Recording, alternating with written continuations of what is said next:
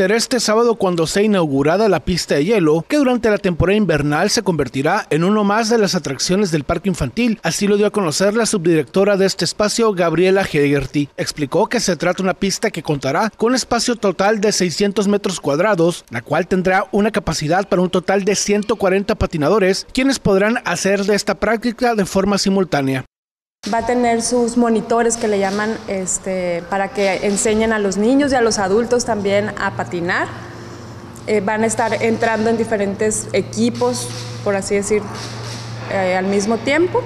Explicó que el costo será de 50 pesos por un turno de media hora, donde podrán acceder a este espacio de diversión a partir de una edad mínima de 5 años y con el costo se incluyen el necesario equipo de seguridad para los patinadores.